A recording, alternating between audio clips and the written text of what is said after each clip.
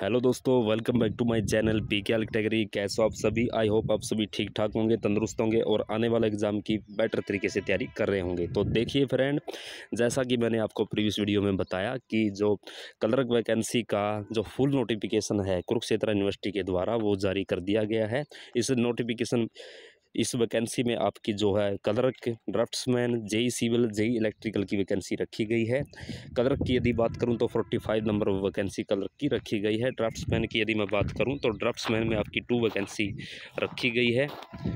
ये आप देख सकते हैं, जूनियर इंजीनियर सिविल में four vacancy, junior engineer electrical में वन वैकेंसी रखी गई है। तो देखिए फ्रेंड, अब की बार जो है जो नोटिफिकेशन जारी किया गया है कुरुक्षेत्र यूनिवर्सिटी के द्वारा, खासकर कलर की यदि मैं बात करूँ तो कलर के सिलेबस में बहुत बड़ा जो चेंजमेंट जो है अब की बार किया गया है। और इस चेंजमेंट को यदि मैं चेंजमेंट पर बात करूँ तो चेंजमेंट बहुत ही अच्छा किया गया है अब की बार। तो सिलेबस में बहुत बड़ा चेंज अब की बार किया गया है फ्रेंड और अब की बार फ़ीस में भी चेंजमेंट किया गया है। तो इसके सिलेबस के बारे में यदि मैं बात करूँ फ्रेंड तो सिलेबस ये आप देख सकते हैं। अब की बार सिलेबस आपका अच्छे से मेंशन किया गया है। ये आप देख सकते हैं, ये कलर का सिलेबस आप स्क्रीन पर देख सक, देख सकते हैं। टाइपिंग टेस्ट में आपको थर्टी नंबर ऑफ़ पॉइंट जो है दिए जाएँगे। एप्टीट्यूड टेस्ट में थर्टी पॉइंट रखे गए हैं आपके। Computer appreciation and application test में बीस, यानी ट्वेंटी मार्क्स कह लीजिए ट्वेंटी मार्क्स रखे गए हैं। और ये एकेडमिक क्वालिफिकेशन का क्राइटेरिया ये आप देख सकते हैं। फिफ्टी यदि आपके फिफ्टी ये आप देख सकते हैं फिफ्टी परसेंट फिफ्टी परसेंट से आपके कम मार्क्स हैं तो आपको, ये आप देख सकते हैं फ्रेंड मेट्रिकुलेशन में तो आपको टू मार्क्स ही मिलेंगे और प्लस टू में भी आपको टू मिलेंगे ग्रेजुएशन में भी टू मिलेंगे। फिफ्टी से सिक्सटी परसेंट के बीच में आप क्राइटेरिया देख सकते हैं पॉइंट का और सिक्सटी परसेंट से यदि अधिक ही आप देख सकते हैं फ्रेंड देख लीजिएगा, पढ़ लीजिएगा और ये आप देख सकते हैं फ़ेज़ वन आपका जो है फ़ेज़ वन में टाइपिंग टेस्ट आप ये आप देख सकते हैं टाइपिंग टेस्ट इन इंग्लिश तो फ़ेज़ वन में आपका टाइपिंग टेस्ट रहने वाला है। टाइपिंग टेस्ट में किस तरह से आपको अंक दिए जाने वाले हैं, इसका वीडियो जल्द ही अपलोड किया जाएगा और आपको डिटेल सारा की सारी अच्छे से समझाई जाएगी।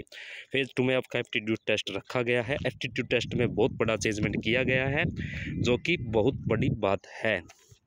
तो ये आप देख सकते हैं फ्रेंड ये आप, अब की बार हिंदी जो, को जो है जोड़ दिया गया है और इंग्लिश तो आपकी पहले भी आती थी, अब की बार भी आएगी। तो ये आप देख सकते हैं और अब की बार जो आपका एग्ज़ाम होने वाला है फ्रेंड, ये आप देख सकते हैं। बाई लैंग्वेज आपका एग्ज़ाम होने वाला है। हाँ फ्रेंड, ये आप देख सकते हैं। हिंदी एंड इंग्लिश में आपका पेपर होने वाला है।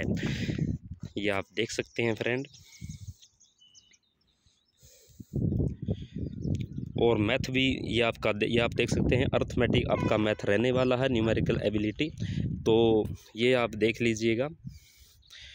टेन क्वेश्चन यानी बीस क्वेश्चन आपसे पूछे जाने वाले हैं, टेन मार्क्स का, यानी एक एक एक क्वेश्चन आपका हाफ़ मार्क्स का रहने वाला है। तो ये आप देख सकते हैं। कंप्यूटर एप्रिसिएशन एप्लीकेशन की यदि मैं बात करूँ एप्लीकेशन टेस्ट की तो ये आपका सिर्फ़ इंग्लिश लैंग्वेज में होने वाला है।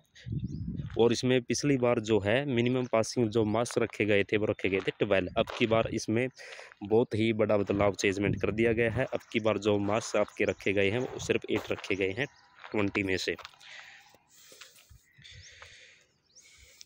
अब आगे आता ये जूनियर जेई का सिविल एंड इलेक्ट्रिकल का क्राइटेरिया सिलेक्शन का। ये तो ये आप देख लीजिएगा फ्रेंड तो आपको मोटा मोटी जो जानकारी देनी थी, वो मैंने दे दी है।